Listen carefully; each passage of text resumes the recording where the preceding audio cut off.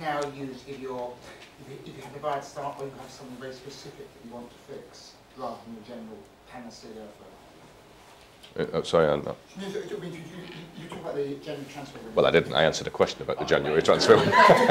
you still talk to that, but uh, it was, it was, and, and you said it's a hard market to, it's a hard market to work is it now, is it, is it now no longer seen as a general, by fans, as a, as a general, you know, quick fix for Uh, no, I, don't- I, I, I don't know whether it whether it is or it isn't. I mean, some players, some clubs, and it depends almost where you're fishing. And as I say, I qualified it by saying that, you know, the the type of player that that that, that would benefit one of the top clubs. I'm not just speaking about Manchester City here, but benefit one of the top clubs is likely to be involved already at a top club who who are chasing honours, so wouldn't want to let that player go.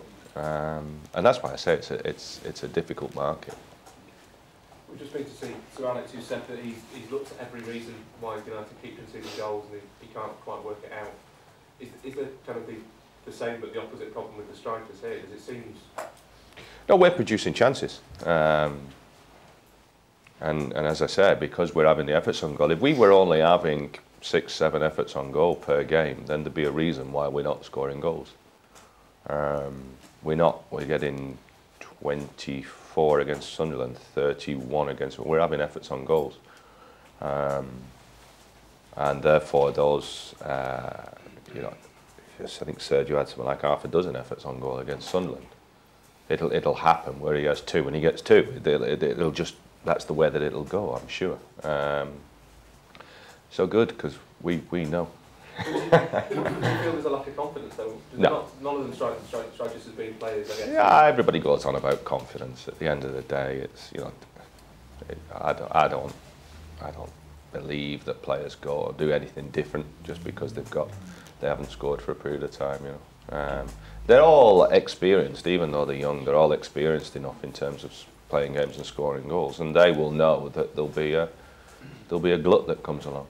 How much of a, an impact could loss of Yaya have on the season? Because obviously last January, losing him was a big blow. You've had to use Kolo a bit more as well in, in recent weeks. Uh, I'm not too sure many, how many games he's he's gone for in terms of league games off the top of my head, but it's something that we've known about and it's something we've got to deal with. Um, you know, we, we, we lost him last year um, and, and won the league. Um, we don't, you know, the end of the day, the kind of player that he is, then it'd be more beneficial to, to have him. Similar with Kolo as well. We want to keep all the players. It's only, it's like when you get an injury, you, you, they're not welcome.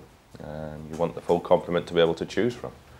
Um, but we haven't, and we'll get on with it. And there's a dressing room full of quality players that we can, um, we'll have to cope with it.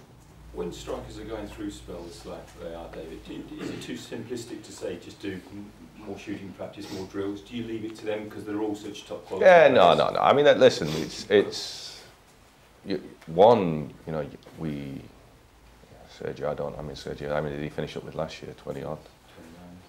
29, 30. Um, you know, and he didn't. We're not doing anything different in training or anything like that. I think it is too simplistic to, to say that. They'll they'll come along, and as I say, you know, it's not just them that we've got to look at to to look at where we're going to get the goals from. They'll they'll come along. It's not as if we're not having chances. Does what happened last season, David, make you fairly comfortable with any gap that you're going to be behind Man United going into the new year? Doesn't tell us two games left, yeah. um, again, I wouldn't look at once at last season and say we can take pointers from last season in terms of it. We are seven points adrift at this moment in time. It's not a position that we would prefer to be in. We'd be prefer to be seven points in front, if not, but would be uh, certainly the gap we would like to be smaller. Um, it isn't. There are it's half a season to go um, to play um, with games you know, that that'll go for us, go against us, go go for Chelsea, go for Manchester United, go against them. We don't know. I mean, it's it literally is just getting on with your own, putting your own house in order, getting on with your job, and winning football matches and seeing where that takes you from one week to the next. As you go into that second half of the season, is, is the point that if the gap does start to widen, that you might get a... Well, we don't think about out it. We don't think about it. I mean, at the end of the day, there's no point in worrying about variables. We are where we are. There's seven points gap with 19 games left, and Um, we'll prepare for tomorrow's game. We'll go into the game to win it. You know, it, it, even if the gap got mathematically too big, we would still be going into games to win them. So I don't, I don't see as it changes too much.